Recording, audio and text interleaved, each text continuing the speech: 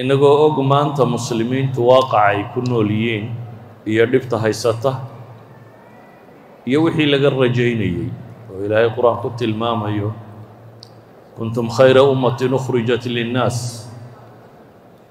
Ummaddii dadka u khayr badnayd ee ilaahay dadka u soo saaray inay yihiin wakadalika jacalnaakum ummatan wasata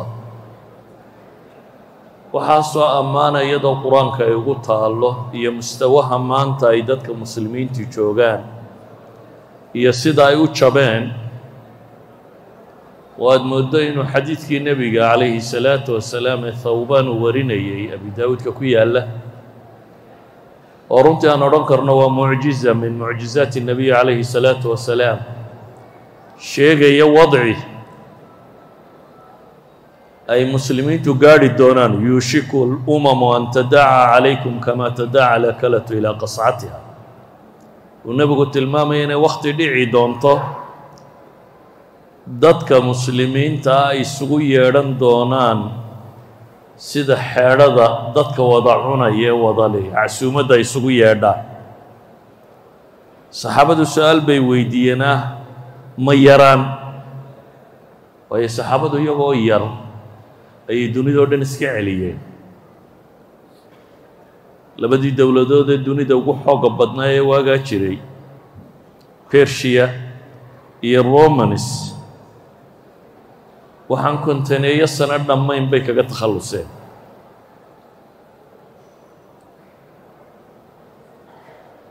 Oo ay ka taliyeen dunidii markii la deganaa intii ugu badnayd. Dadkii hamigaa siday ama xooggaa lahaa markii la yidhi waa laydin boobayaa. Oo sida loo cuno xeedhada loo wadaagaa laydin wadaagayaa. Su'aashay nebiga weydiiyeen calayhi salaatu wasalaam ee madaxooda ku soo dhacaysa in waxa weeyaan ma intay madhaan oo yaraadaan oo wax yar noqdaan baa markaa la boobaya waxay idhahdeen wa min qilati naxnu yowmaydin maalintaas ma maalin aanu yar nahay oo dee baaba'nayba nebigu wuxuu sheegay calayhi salaatu wasalaam tiro hadday tahy bal antum yowmaydin kahiir buu nebigu yidhi. Tiro marka laga fekerayo maalintaasi waa tiro badantiin buu nebigu ku tilmaamay. Laakiin waxaad tihiin guhaa'un ka guhaa'i say. Daad xoorta daadku sido. Daadku markuu socdo xashiish iyo waxbuu soo qaadaa. Waxaasi wasni ma leh uma dhaadhacaan shakli ma leh oo kolba meeshuu daadku maraa unbuu midabkoodu noqdaa laantii wale daadka soo gashaaba badh bay la hadhaa yacni waa dad aan wasni iyo macno iyo qiimatoona lahayn bay noqon doonaan buu tilmaamaya waxaa kaloo nebigu ku tilmaamay markaasi waxa dhici doona waxaa ka mid ah cabsida gaala idinka qabta baa ka bixi doonta walayanzicanna allahu min suduuri caduwikum ilmahaaba laydinkama cabsan doono waxaa kaloo dhici doonta buu nebigu yihi idinkana wahni baa laydinku soo tuuri doonaa wahnigu waa kelmad carbeed nimankanina carab quxa bay ahaayeen waa yaqaaneen. Haddana waxaad mooddaa masaladu inay midmadow gashay oo ay markaa nebiga weydiinayaan wahniga kani waa noocma wuxuu nebigu ugu tilmaamay markaa wahnigaa idinku dhici doonaa inuu yahay adduunye jacayl iyo geeri nacayb yani maanta muslimiinta dhibta haysata iyo mashaakilkay taagan tahay waxaa maqashaan hadda magaalo ghaza la yidhaahda iyo waxaa ka dhacaya. Ghaza inaad ka warhaysaan mooyaane waa meel ballaceedu shan mayl iyo badh meelaha ku dhadhowyahay ballaceeda gebigiisuba. Dherarkeeduna waa shan iyo labaatan mayl. Marka laysku wada daro waa boqol iyo koob iyo afartan kilomitr oo isku weer boqol iyo koob iyo afartan mayl oo isku weera weeyaan. Waxaad qiyaastaa meel boqol iyo koob iyo afartan kilomitr mayl oo isku weera ah. Oo adduunka wixii gaal joogo o dhammi tumayaan. Wixii hubul haysto o dhan lagu garaacayo muslim oo dhammina daawanayo bale daawasho qura maahee ay u xejinayaanoo u hayaan. Xagga ha ka bixin oo xagga ha ka bixin. Oo god yar haddaad qodato ha lagaa aaso oo meel laba cid ha kala xidhinin. Iyana ay ma codayiin. Waxaana siday u dhaceen. Waxay dhahdaan sida uu tilmaamayo khabiirka cabdalla nafiisi la yidhaahdaa wuxuu leeyahay muslimiinta iyo reer galbeed shan marxaladood bay isla soo mareen buu leeyahy marxaladda koowaad waxay ahayd buu leeyahy waa maxadat اlcunfi wa kasri اlcidaab oo madaafic iyo dil iyo wax walba waa lagu laayey waa markii iyagu isticmaar bay noogu sheegaane waa markay gaala soo duushay faransiis le ingiriis le holandiis le jarmal le yurub oo dhan oo waxay hub haysatay wadata. Iyo caalamulislaami ku soo duushay talyaani le meel walba leh. Muslimka markaasi madfac baa lagu tumay iyo wixii hub la hayey waa la lafajabiyey. Markii la lafajabiyey kadibna marxalo labaad la geliyo la yidhaha marxalatu tajzi'a wa taqsiim awal waddan muslim oo isku furan bay ahaayeen oo cid walba cidda kale u heeliso waa loo kala goobaabeeyey. Idinku reer hebel baatiin halkaa ma dhaafi kartaan. Idina reer hebel baatiin halkaa ma dhaafi kartaan. Magacyo cusub oo aan jirin ayaa loo bixiyey. Inta goobo goobo yar loo xarxariiqay marxaladdaa markay soo dhaaftay oo ah yacni sida hilibka loo qaybsado loo qaybsaday oo inta shir laysugu yimi la yidhaahdo hebelow adigu intaa qaado ingiriisow intaa qaado faransiisow intaa qaado talyaanow intaa qaado sida xoolaha loo qaybsaday kadib baa waxaa soo baxday haddana marxalo saddexaad buu leeyahy oo ah marxalatu taqriib in caqaa'idda iyo afkaarta iyo dadku waxay rumaysan yihiin la bedelo في التعليم والإعلام والاقتصاد